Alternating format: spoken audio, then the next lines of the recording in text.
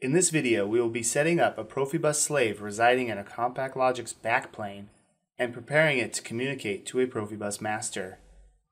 The module we will be using is a ProSoft Technology ILX69 PBS Profibus slave for CompactLogix. We will be adding this module to a new project using an add-on profile and an add-on instruction. There are three ways to configure the module's slave address. One, setting the dials on the front of the module, then power cycling. Two, using a CompactLogix processor to set the slave address. And finally, using the Profibus master to send the address to our slave using the Profibus network. In this video, we'll be setting ours to receive the address from the master.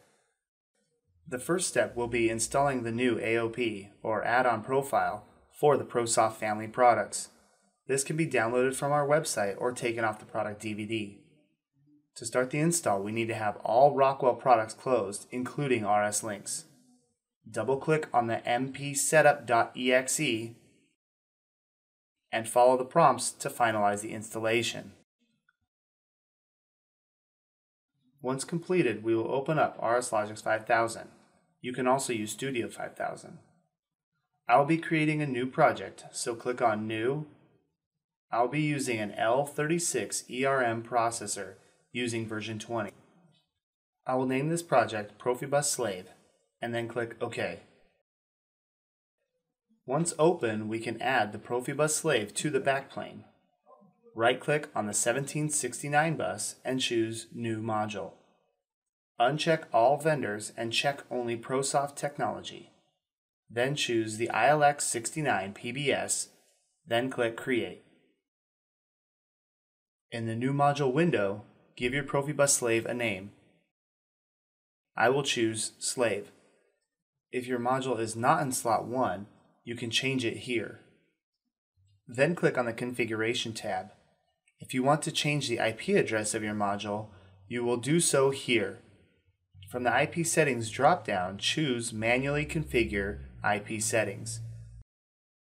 My IP address will be 192.168.0.65. If you do not know your IP address, consult your network administrator.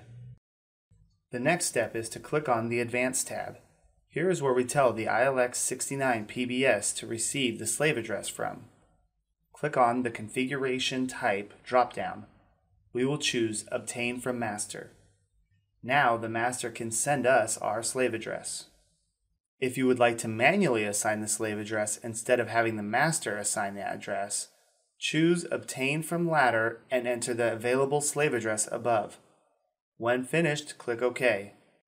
Now we need to install an add-on instruction to get this module talking to the processor and bring in some diagnostic data.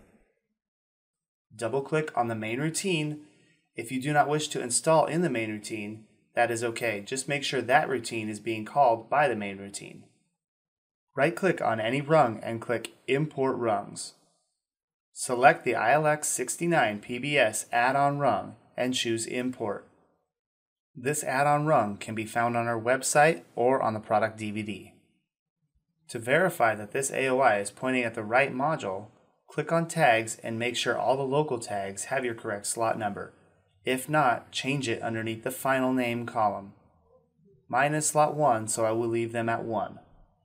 When finished, click OK. Now let's go over where you will interface with the Profibus data.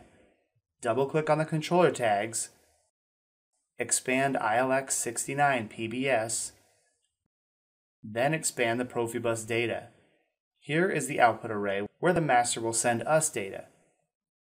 And here is the input array where you will send the master data now that everything is completed, we can download to the processor. You are now ready to send and receive Profibus data to the Profibus master. The Profibus master will need a GSD file for the ILX69 PBS. This is a file that will give the master all of our available parameters and any data restrictions. This file can also be found on our website and on the product DVD. For any more information on this product or any of our other products, please visit us at our website at www.prosoft-technology.com. And as always, happy training.